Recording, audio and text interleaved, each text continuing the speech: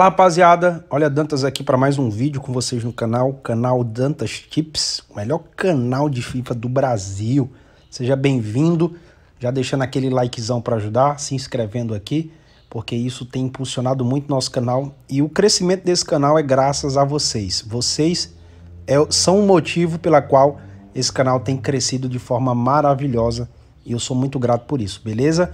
Hoje eu tenho um conteúdo muito top para trazer para vocês, mas antes Todos os links que você precisa para entrar no meu grupo free, no meu grupo VIP, para me seguir no Instagram, estão na descrição desse vídeo. Clique aí e você vai ser redirecionado a todos eles, beleza? E diante dos pedidos aqui nos comentários, eu trouxe para vocês hoje um conteúdo sobre over no primeiro tempo. Como operar com over no primeiro tempo, certo?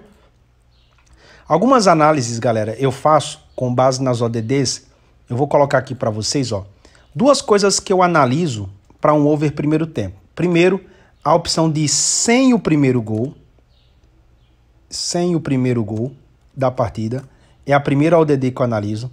Depois eu analiso o, o, o partida gols, partida gols, certo? O ambos marcam, ambos marcam.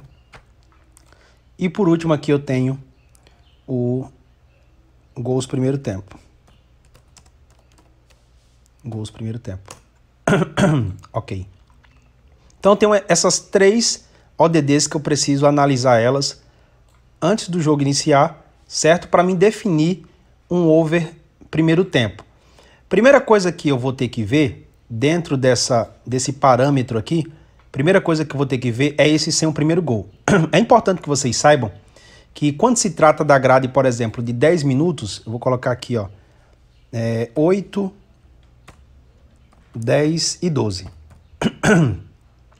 8, 10 e 12, certo?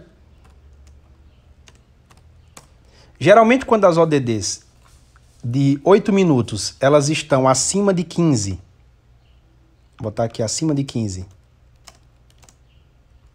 acima de 15. As de 10 minutos, acima de 30. E as de 12 minutos, acima de 30 também, eu considero como altas, certo? Então, para mim, são ODDs que eu considero elas como boas, como altas, para mim poder focar no over primeiro tempo. Então, a primeira coisa que eu vou analisar nas três gradas quando eu for operar é a ODD de 100 o primeiro gol. Se essa opção de ser um primeiro gol estiver com mais desses valores aqui, ó, é uma boa. É a primeira confirmação que eu tenho, certo? Partida gols. Partida gols. Eu preciso sempre dar uma olhada nessa questão de partida gols quando ela vem acima do padrão. Por exemplo, em 8 minutos, geralmente a maioria dos jogos abre no 2,5, certo? A maioria dos jogos abre no 2,5. Se ela abrir no 3,5, para mim já é um padrão melhor, porque ela está indicando uma partida de poucos gols, ok? Ou de muitos gols, perdão, uma partida de muitos gols.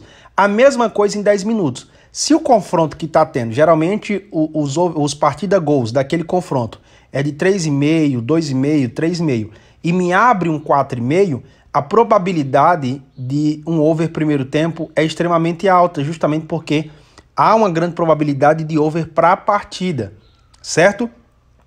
E a terceira e última coisa que eu olho é o ambos marcam. O ambos marcam. A gente sabe que esse ambos marcam, ele tem duas opções. Ele tem a opção de sim, que é para ambos os times marcarem, e ele tem a opção de não, que é para ambos os times não marcarem. A análise que eu faço com esse ambos aqui é nessa opção de não marcam, certo? Por quê? Porque quanto mais alta ela tiver, lógico que ela vai abrir a visão para o ambos sim. Então, por exemplo, se o ambos não marcam, ele está entre 1,72, vou botar aqui, ó, ele está entre 1, opa, ele está entre 1,72 a, por exemplo, aí vou botar 2.0, 2.0. A probabilidade de ambos marcarem é extremamente alta.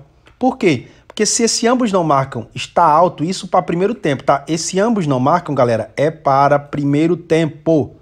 Ambos não marcam no primeiro tempo, certo? Não é para partida, primeiro tempo. marcar dois gols no primeiro tempo já não é fácil e ainda um de cada é mais difícil ainda. Então, se tecnicamente a Bet ela já coloca isso aqui alto, é porque ela, ela quer já lhe atrair para esse buraco, porque ela sabe que os dois vão marcar no primeiro tempo. Então, como que eu tenho por base esse over primeiro tempo, gol no primeiro tempo? Com base nisso aqui. Porque se eu sei que esse ambos não marcam tá alto, a probabilidade vai ser então de ambos marcarem. Então aqui eu, só aqui eu já vou ter pelo menos dois gols, um de cada, certo? Então se o ambos no primeiro tempo vai abrir no 2,5, a probabilidade de bater esse 2,5 é alta porque já o ambos marcam, já está me apontando um gol de cada. Entendem? Então três coisas que eu observo é o ODD de ser um primeiro gol, quantidade do partida gols e o ambos não marcam. Se tiver alto, a probabilidade é alta. E por último, para fechar o caixão da, da análise, é o under do ambos, do, do, do under do primeiro tempo. Então o under primeiro tempo vai abrir, por exemplo, no 2,5, primeiro tempo, certo? Eu tenho lá, para over, 1.83 e para under eu tenho 1.90, certo? Esse 1.90 aqui para mim é extremamente alto. Então, tecnicamente, ele está apontando para esse over primeiro tempo aqui. Então tem três confirmações aqui, ó, três confirmações básicas, certo? O ambos não marcam, ODD tá alta. Partida gols abriu no 3,5 ou 4,5, 5,5, dependendo da grade. E a ODD de ser um primeiro gol abriu alta, como está aqui, tanto para a grade de 8, 10 quanto para a de 12. E por último, eu tenho aqui o meu under alto para primeiro tempo. Então, tudo isso aqui, galera, indica um over primeiro tempo. E lembrem-se, nesse mercado, o que vai te fazer ganhar dinheiro não é estratégia, é análise. Quanto mais análise você tiver, melhor. Caiam fora de estratégias 100% assertivas, estratégias milagrosas de 10 para 1 milhão, caiam fora disso. Vocês querem ser consistentes? Aprendam a analisar mercado. Quanto mais confirmações vocês tiverem para uma determinada aposta, mais assertiva ela vai se tornar, mais chances de, vo de vocês ganharem vocês vão ter. Então foquem na análise, entendam o mercado, façam as leituras das ODDs e eu tenho certeza que vocês vão ter bons resultados. Beleza? Tamo junto, rapaziada. Até o próximo vídeo. Valeu e é nóis.